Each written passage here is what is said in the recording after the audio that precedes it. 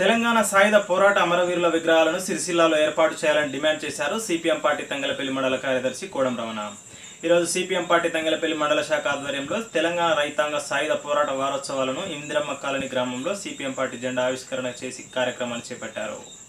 కార్యక్రమంలో CPM party మండల శాఖ నాయకులు మోర అజయ్ గోవిందు లక్ష్మణ్ గడ్డం ఎల్లయ్య జల్ల సదానందం అక్కల శ్రీనివాస్ సాడపు శుభశేఖర్ రవి మహేష్ రాజశేఖర్ మహేందర్ తదితరులు పాల్గొన్నారు. భూమి కోసం భుక్తి కోసం వెట్టి చాకిరి విముక్తి కోసం అదే విధంగా రైజాక రజాకార్లు నైజాముల నుంచి తెలంగాణ అనేటువంటిది ఆంధ్రప్రదేశ్ భారతదేశ ప్రభుత్వంలో విలీనం కొరక కొరకై పెద్ద ఎత్తున తెలంగాణ సాయుధ పోరాటం అనేటువంటిది జరిగింది. కానీ ఈ రోజు ఉన్నటువంటి మతోన్మాదులు ఆర్ఎస్ఎస్ బీజేపీలో కుట్రల భాగంగా దీన్ని హిందూ మరియు ముస్లింల కొట్లాటగా అభివర్ణిస్తూ చరిత్రను వక్రీకరించేటువంటి ప్రయత్నాలు అనేటువంటి సాగుతూ ఉన్నాయి. కాబట్టి ఖబర్దార్గా సిపిఎం పార్టీగా హెచ్చరిస్తూ ఉన్నాం. మరి ఆనాటి పోరాటం లోపల ఒక హిందూ ఒక ముస్లింలు హిందువులు అనేటువంటిదే కాదు. ఆనాడు ఉన్నటువంటి పోరాటం ఒక్కటే. ఏదైతే తెలంగాణ అనేటువంటిది భారతదేశ ప్రభుత్వం లోపల విలీనం కావాలి అనేటువంటిది ఒకటే దిశగా జరిగినటువంటి పోరాటం.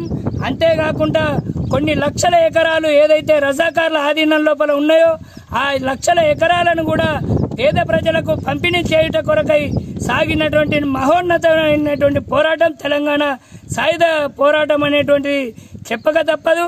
అంతేకాకుండా ఈ ప్రాంతం లోపల కూడా ఆంధ్ర మహాసభ లోపల కూడా ఇక్కడ ఇక్కడ ఆంధ్ర మహాసభ జరిగినటువంటి చరిత్ర ఇప్పటికీ కూడా ఉన్నది.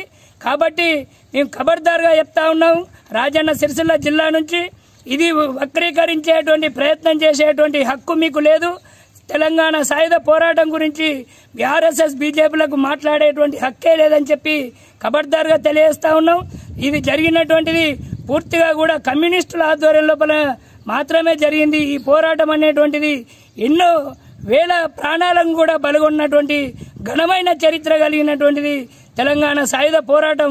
అంతేకాకుండా ఇప్పటికిప్పుడు కూడా కేంద్రం లోపల ఉన్నటువంటి బీజేపీ ప్రభుత్వం కార్మిక చట్టాలను రద్దు చేస్తూ రైతులపైన అనేకమైనటువంటి కేసులు విసుకొల్పుతూ మొన్నటి దానిక సంవత్సరం కూడా సంవత్సరం పాటుగా జరిగినటువంటి పోరాటానికి దేశ ప్రధానే తల వంచి మేము చట్టాలను రద్దు చేసుకుంటున్నాం తీసుకొచ్చిన చట్టాలను వెనక్కి తీసుకున్నామని చెప్పి చెప్పినటువంటి చరిత్ర కూడా ఉన్నది.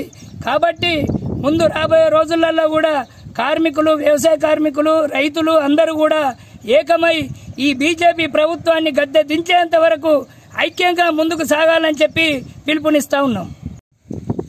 సెప్టెంబర్ పదవ తేదీ నుండి పదిహేడవ తేదీ వరకు సిపిఎం పార్టీ తెలంగాణ రాష్ట్ర కమిటీ పిలుపులో భాగంగా మరి సిపిఎం పార్టీ తంగలపల్లి మండల శాఖ ఆధ్వర్యంలో తెలంగాణ సాయుధ పోరాట వారోత్సవాలను నిర్వహించుకోవడం జరుగుతూ ఉంది. అందులో భాగంగా ఈరోజు తంగలపల్లి మండల శాఖ ఆధ్వర్యంలో ఇందిరమ్మ కాలనీ గ్రామంలో మరి సిపిఎం పార్టీ జెండా ఆవిష్కరణ కార్యక్రమాన్ని నిర్వహించుకోవడం జరిగింది. మరి ఆనాడు భూమి కోసం భుక్తి కోసం వెట్టి చాకిరి విముక్తి కోసం నైజాం నిరంకుశ పాలనకు వ్యతిరేకంగా ఆనాడు కమ్యూనిస్టుల ఆధ్వర్యంలో మరి పంతొమ్మిది వందల నలభై ఆరు నుంచి పంతొమ్మిది వందల యాభై ఒకటి వరకు మరి భూస్వాములకు రజాకారులకు భూ పెత్తందారులకు వ్యతిరేకంగా తెలంగాణ సాయుధ పోరాటాన్ని నిర్వహించడం జరిగింది. మరి ఆ పోరాటంలో దాదాపు నాలుగు వేల మంది కమ్యూనిస్టులు మరి అసూలు బాసినటువంటి పరిస్థితి ఉంది. నాలుగు వేల పదివేల గ్రామాలకు విముక్తి భూస్వాముల నుండి విముక్తి లభించి పది లక్షల ఎకరాలను పేద ప్రజలకు పంచినటువంటి ఘనత తెలంగాణ సాయుధ రైతాంగ పోరాట చరిత్ర. మరి అట్టి తెలంగాణ సాయుధ పోరాట చరిత్రను ప్రస్తుతం ఉన్నటువంటి బీజేపీ పార్టీ ఆర్ఎస్ఎస్ సంస్థలు మరి ఆనాడు నైజాం ముస్లిం రాజు కాబట్టి మరి హిందువులకు ముస్లింలకు జరిగినటువంటి పోరాటంగా అభివర్ణిస్తూ తెలంగాణ వివే విమోచన దినోత్సవం అని చెప్పి మరి వక్రీకరిస్తూ మరి ప్రచారం చేయడం జరుగుతూ ఉంది. దీన్ని మేము తీవ్రంగా ఖండిస్తూ ఉన్నాము. తెలంగాణ ఆనాడు కమ్యూనిస్టులు లేకుంటే ఆ ఉద్యమమే నడిచేది కాదు. ఆ కమ్యూనిస్టుల ఏ దక్కు ఆ తెలంగాణ సాయుధ పోరాట వారసులు నిజమైన కమ్యూనిస్టులే అని చెప్పి మేము సందర్భంగా తెలియజేస్తా ఉన్నాము. ఈ మతోన్మాత మొదలకు మాట్లాడక్కు లేదు మరి ఆనాడు హిందువులకు ముస్లింలకు మధ్య జరిగినటువంటి పోరాటంగా వర్తిస్తుంటే మేము ప్రశ్నిస్తా ఉన్నాం. ఆనాడు ఆ తెలంగాణ సాయుధ రహితంగా పోరాటంలో కూడా అనేక మంది ముస్లింలు పాల్గొని మరి అమలైనటువంటి పరిస్థితి.